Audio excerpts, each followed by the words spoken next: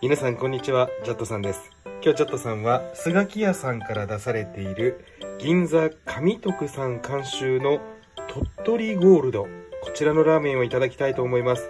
どうやらこれは牛骨ラーメンだそうですね。楽しみです。中には火薬と後乗せ火薬、そして液体スープが入っていました。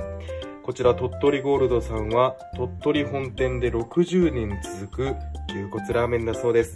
では熱湯を注いで5分で食べていきましょう。それでは銀座上徳さん監修の鳥取ゴールド完成したのでいただいていきたいと思います。それではいただきます。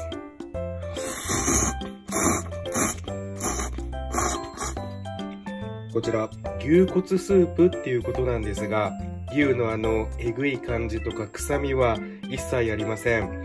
イメージで言うと焼肉屋さんであの牛骨のテールスープなんて飲むことができますがあのスープをあっさりとした醤油味に味付けしているそんな感じのラーメンになっています。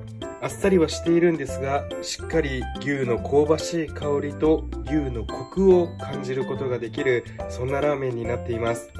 見た目はちょっと薄い印象あるかもしれませんが、しっかりした味付けがなされているラーメンになっています。ぜひ皆さんもこちら、銀座上徳さん監修の鳥取ゴールド牛骨ラーメン見つけたら食べてみてください。またねー。